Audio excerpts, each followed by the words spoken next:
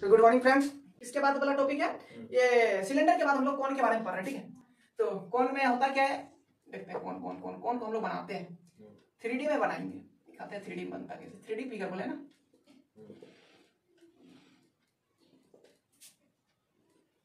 Three figure बनाएँगे three ये है कौन? तो कौन ये वाला हो गया रेडियस ये वाला हो गया एच हाइट और इसका हो गया स्लेंट हाइट ये। या हाइपोटेनस इसमें जो लेते हैं स्लेंट हाइट को लेते हैं। तो हम लोग इसमें किसका पढ़ेंगे? में हम लोग बेसिकली क्या पढ़ेंगे? वॉल्यूम पढ़ेंगे। तो वॉल्यूम ऑफ़ कौन पढ़ते? पहले वॉल्यूम निकाल लेते हैं। वॉल्यूम होता है वन थर्ड पूरा में से वन थर्ड ही भाग आएगा। तो one third into pi R square H होता है। यानी जो सिलेंडर का था, उसका वन थर्ड यानी सिलेंडर का एक भाग को निकाल लेंगे तो वही तुम्हारा हो गया कौन? ठीक है? तो कौन का ये हो गया? यदि ये तो एक पार्ट एक पार्ट, तीन पार्ट तीन पार्ट में से एक पार्ट हो गया, एक पार्ट ये। यदि इसको निकाल देंगे तो क्या था? मेरा सिलेंडर था ना। तो ये एक पार्ट, ये एक पार्ट में से दो पार्ट को माइनस कर दो तो तीन पार्ट हो गया। तो एक पार्ट का ही वन थर्ड किसका है? पाई आर स्क्वायर यानी ये पाई आर स्क्वायर किसका था? वॉल्यूम का। तो इसका सिलेंडर का था ना तो इसमें से वन पार्ट को ही कंसिडर करेंगे। तो पूरे सिलेंडर को। डायग्राम से देख ये बॉक्स है। हमको कौन निकालना है? तो ये निकालेंगे। ये एक ये एक माइनस कर दिए तो तीन को पार्ट है ना, एक, दो, तीन तो एक ही को कंसीडर करना इसलिए तो देखो वॉल्यूम हो गया। अब बात करते हैं हम लोग कर्व सरफेस एरिया ठीक है कर्व सरफेस एरिया में C S A C S A curve surface area की बात करते हैं। कर्व सरफेस एरिया तो कर्व सरफेस एरिया निकलेगा कैसे? इसमें कर्व सरफेस एरिया निकलेगा। अरे बाबा पेरीमीटर ऑफ़ बेस ले लो। पेरीमीटर ऑफ़ बेस पेरीमीटर किसका लेना है? बेस का ना? बेस का पेरीमीटर लेंगे, सिर्फ़ इसका बेस का पेरीमीटर और इसके साथ किसको मल्टीप्लाई कर देंगे? स्लेंट हाइट एल को। एल मतलब स्लेंट हाइट ले लेते हैं। ठीक है स्लेंट हाइट को ले लीजिए। तो पेरीमीटर ऑफ़ बेस क्या होगा बोलो? हाफ़ इंटू कब से बेस एरिया होगा? Perimeter of half into perimeter of base into slant height तो half into perimeter of base क्या होगा? One by half into pi perimeter of base pi इसका तो एरिया दे देगा। पाई टू पाई हाँ बेस क्या टू पाई आर होगा। Two pi R. अब इंटू क्या? लेंथ बोले ये perimeter two pi R two pi R two pi R होगा। टू पाई सरकमफेरेंस ऑफ़ किसका? Perimeter of base into slant height तो पेरीमीटर क्या हो गया? One by half half of किसका? पेरीमीटर ऑफ़ बेस तो two pi half of perimeter of base तो half किसका है? Perimeter of base perimeter of base का हाफ़ तो हाफ़ इंटू और इसके साथ में एक सेलेंट हाइट तो टू टू कैंसिल तो क्या हो गया? पाई आर यही हो गया मेरा किसका? कर्व सरफेस एरिया कर्व वाला पार्ट है ये ये ये कर्व वाला ये वाला ये वाला। अब बात करते हैं हम लोग total surface area total surface area के बारे में बात करते हैं total surface area total surface area total surface area कैसे निकलेगा? कर्व सरफेस एरिया को तो मान लो पाई आर एल दिया हुआ है। प्लस में किसका? बेस वाला बेस वाला, नीचे वाला। ट्रुम ट्रुम का तो pi pi R square area तो पाई स्क्वायर होता है। तो पाई बाहर निकाल लो पाई आर को बाहर। कहीं ऊपर वाला तो नहीं है तो ऊपर वाला कहाँ से एक ही होना है, इसका तो एक ही को है। तो पाई आर बाहर निकलेगा। पाई और आर बाहर निकल गया तो क्या बोला? आर प्लस एल, यही हो गया टोटल सरफेस एरिया यही हो गया टोटल सरफेस एरिया ऊपर तो है नहीं तो ऊपर का काउंट नहीं करेंगे, इसीलिए को पाई है तो को एरिया है।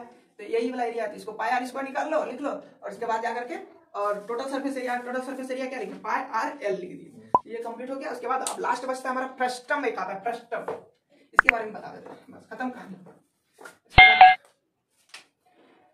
फ्रस्टम की बात करते हैं। फ्रस्टम क्या होता है? कौन को काट दो अब बात करते हैं फ्रस्टम फ्रस्टम लास्ट है। F R U S T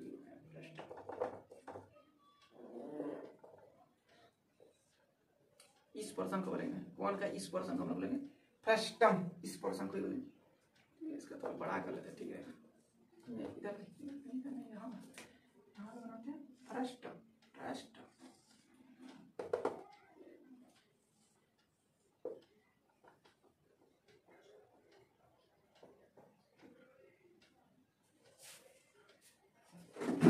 ये हो गया फ्रस्टम फ्रस्टम का एक। तो फ्रस्टम में हम लोग इसका स्लेंट हाइट कैसे निकालेंगे? इसका स्लेंट हाइट चाहिए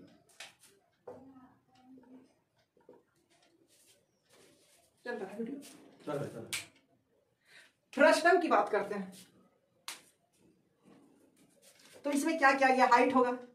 ये बिगर का रेडियस होगा कैपिटल आर और ये स्मॉल का रेडियस होगा स्मॉल और ये तुम्हारा होगा एल इसमें। यानी सेलेंट हाइट ठीक है? ये सेलेंट हाइट होगा। तो देखो यदि हम इसका हाइट में से इसका हाइट यहाँ ले लेते इस, इस पॉइंट की बात करते हैं।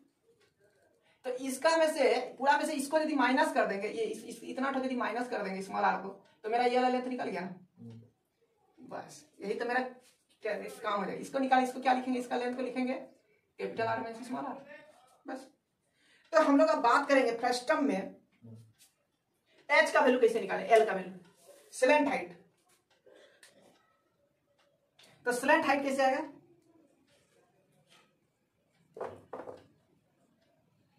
तिरछा वाला हाइट इसका एल का वैल्यू स्लेंट हाइट कैसे आएगा? एल तो हम लोग पाइथागोरस लगा लेंगे ना पाइथागोरस थ्योरम से हम लोग इसका एरिया निकाल लेंगे, ये वाला का। तो पाइथागोरस थ्योरम क्या होता है?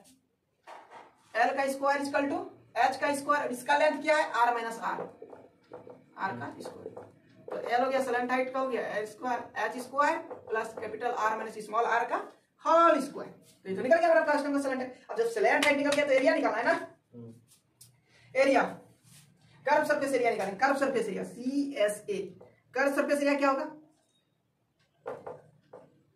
कर्व सरफेस एरिया होगा फ्रस्टम का। पाई पाई पाई आर एल ऊपर वाला का पाई आर एल कर्व वाला। ऊपर वाला का कर्व ऊपर वाला का कर्व प्लस नीचे वाला का कर्व पाई आर एल बस यही। तो इसको क्या निकालेंगे कॉमन क्या ले लेंगे? इसमें से पाई एल को बाहर निकाले आर प्लस आर ये तो हो गया कर्व सरफेस एरिया अब देखो टी एस ए लेना है। Total surface area total surface area के लिए क्या लेंगे? ये तो रहेगा सी एस ए अब प्लस में ऊपर नीचे का एरिया ऊपर का एरिया क्या होगा? Pi R square pi R square plus नीचे वाला नीचे ऊपर वाला का और नीचे वाला का? पाई आर का कैपिटल आर का स्क्वायर यही ना। तो अब इसमें से लिखेंगे। इसको मॉडिफाइड कर लेते हैं। क्या है? Pi L into R plus R और इधर। और इसमें हो गया पाई को बाहर निकाल लो कैपिटल आर का स्क्वायर प्लस आर का स्क्वायर ये तो है। अब देखो, इसको इसको थोड़ा सजा के लिख लेते हैं। बस यही हो गया। यदि मॉडिफाइड करेंगे तो पाई को बाहर ले लेंगे। और क्या पाई को ही बाहर ले सकते हैं L into R plus R plus R square plus R तो ये था मेरा टीएसए टीएसए निकालेंगे क्या करेंगे? कर्व सरफेस एरिया इसका लगा ये वाला ये वाला ये वाला पूरा निकालेंगे कर्व वाला पोर्शन को कर्व वाला पोर्शन का एरिया को निकालेंगे प्लस में ऊपर वाला एरिया और नीचे वाला एरिया को ऐड कर देंगे। तो टोटल सरफेस एरिया निकल गया। हर बार यही करते हैं तो इस बार भी यही किया।